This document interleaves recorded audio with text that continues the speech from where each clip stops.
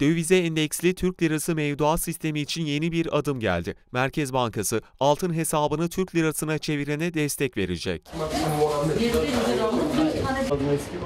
Altın hesaplarının TL'ye çevrilmesinde Merkez Bankası'nın o gün saat 11'de ilan edeceği gram altın fiyatı esas alınacak. Hesaplar 3, 6 ve 12 ay vadeli olacak.